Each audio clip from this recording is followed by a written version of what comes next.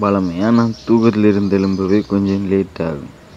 இருந்தாலும் ஏழு மணிக்கெல்லாம் எழும்பி போனணுன்றது தானே நம்ம வழக்கம். இன்றைக்கும் அதே நோக்கத்தோடு தான் நான் தூங்கினேன். ஆனாலும் விடியும் போதே வாகன சத்தம். அரை தூக்கத்திலே காதே கேட்டுச்சு. இதை நான் சுதாகரித்து எழும்புறதுக்கு முன்னாடியே பிது பிது. என்னப்பா? நாதன் அண்ணா வந்து இருக்காரா இதை ஃபோனில் செட் பண்ணி தரட்டாம். என்னென்னு போய் பேர்.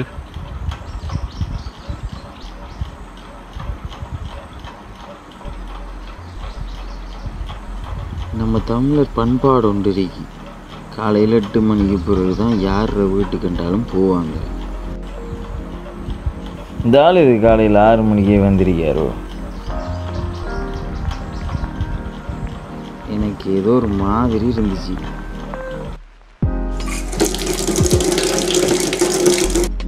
டக்குன்ட்டு முகத்தை கழுவி தொடச்சிட்டு ரெடி ஆகிட்டு வெளியே போனேன்.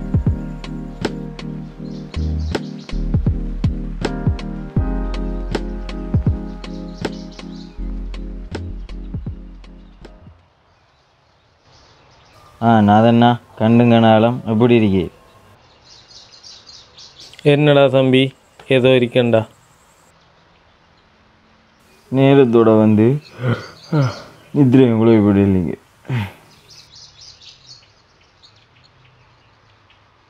தம்பி இந்த ஃபோனில் ஏதோ படிக்கிறது இருக்காமேடா தம்பிக்கு ஏழு மணிக்கு கிளாஸ் இருக்கு இதை கொஞ்சம் செஞ்சுதாடா எங்களோட ஏரியாவில் ஃபோன் விஷயத்தில் நான் கொஞ்சம் கெட்டிக்கார் சின்ன பிரச்சனைன்றாலும் எல்லாரும் என்கிட்ட தான் ஃபோனை கொண்டு வரவங்க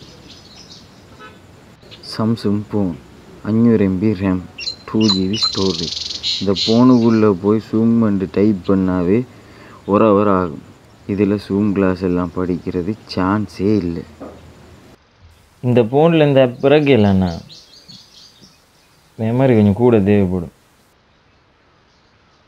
ஸ்டோரேஜ் காணாது சார்ஜ் நிற்காது இது சரி வராண்ணா?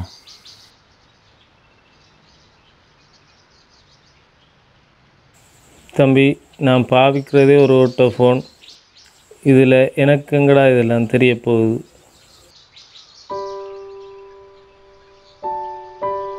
தம்பிக்கு ஒரு புது ஃபோனோடு வாங்கி கொடுக்கலாமே. எங்கடா தம்பி? அவரோட மூன்று பாட கிளாஸுக்கும் நெட் காசோட சேர்த்து ஐயாயிரம் ரூபா போகுது. அதில் அவர் ஃபேமஸான வாத்தி வேறு. ஃப்ரீயாலாம் படிப்பிக்க மாட்டார். இந்த ஐயாயிரம் ரூபாய்க்கே நான் எங்கே உருண்டு தெரியாமல் இருக்கேன்? இதில் எங்கடா நான் போடலாமாங்கிறேன் அப்பா என்ன பிரச்சனையாப்பா இந்த ஃபோனில் இதெல்லாம் வேலை செய்யாண்டா தம்பி.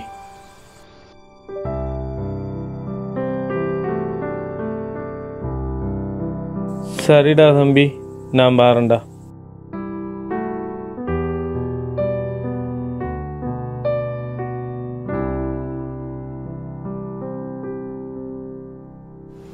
தன்னை பிள்ளையும் படிக்கணுமென்ட்டு வெக்கத்தை விட்டு ஓடி வந்தான் மனுஷன். ஒரு தகப்பன்னா அவரோட நிலைமை என்னால் நினச்சி பார்க்கவே முடியலை. அவர் சொல்கிறத வச்சு பார்க்கும்போது பிரியா கிளாஸ் வச்சுருந்தா புது பொன் வாங்கியிருக்கலாமோ என்னவோ.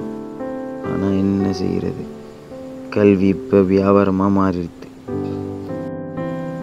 இதெல்லாம் பார்க்கும்போது என்னோட பர்ஸில் இருந்து ஒரு இருபதாயிரம் ரூபாய் எடுத்து அவர்கிட்ட ஃபோன் வாங்கி கொடுப்போமான்னு தோணுச்சு. ஆனால் நம்மக்கிட்ட தான் பத்து சதம் கூட இல்லையே. ஆனால் அண்ணா. என்கிட்ட தான் ஒரு ஸ்மார்ட் ஃபோன் இருக்கே. நான் என்னோட ஸ்மார்ட் ஃபோன் ஒன்று இருக்குது. நான் கிளாஸுக்கு தாரேன். நீ கிளாஸ் முடிய கொண்டு வந்து தாங்க. நன்றிடா தம்பி. ம். நில்லுங்க நான் ஃபோனை எடுத்து வரேன்.